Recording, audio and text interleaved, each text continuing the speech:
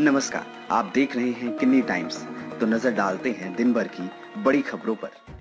America के new Jersey में एक 22 महीने के बच्चे ने मोबाइल पर खेलते खेलते ऐसा खेल कर दिया कि मम्मी पापा को एक लाख चालीस हज़ार रूपए का चूना लग गया। रिपोर्ट के अनुसार, बच्चे ने गलती से फ़ोन पर खेलते हुए मोबाइल में माँ द्वारा वॉलमार्ट शॉपिंग कार्ट में रखे सामान को ऑनलाइन ऑर्डर कर दिया।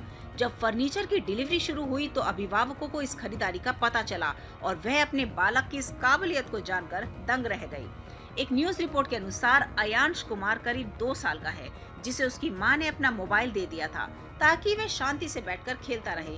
लेकिन बच्चे ने गलती से मोबाइल से एक लाख चालीस हज़ार का फर्नीचर ऑर्डर कर दिया। अयांश अमेरिका में रह रहे भारतीय मूल के कपल मधु और प्रमोद कुमार का बेटा है। हालाँकि अयांश को पढ़ना लिखना तो नहीं आता, लेकिन मोबाइल चलाने में उस्ताद हैं। कुमार परिवार नए घर में शिफ्ट ही हुआ था।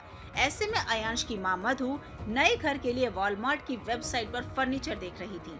उन्होंने अपनी पसंद की चीज़ों को शॉपिंग कार्ट में रख लिया था, लेकिन कुछ ऑर्डर नहीं किया। पर जब घर पर फर्नीचर की डिलीवरी होने लगी तो पेरेंट्स हैरान रह गए। जब उन्होंने खरीदारी की बात से इनकार कर दिया तो वह समझ गई कि अयांश ने ही गलती से यह मिस्टेक कर दी है। तमाम बड़ी खबरों के लिए बने रहिए किन्नी टाइम्स के साथ। वीडियो को लाइक करें, चैनल को सब्सक्राइब करना ना भूलें।